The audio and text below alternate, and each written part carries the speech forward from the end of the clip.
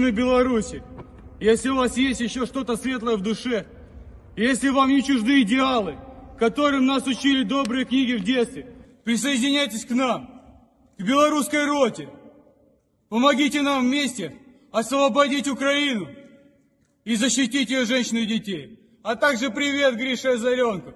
Ты был в Казахстане, приезжай сейчас в Украину.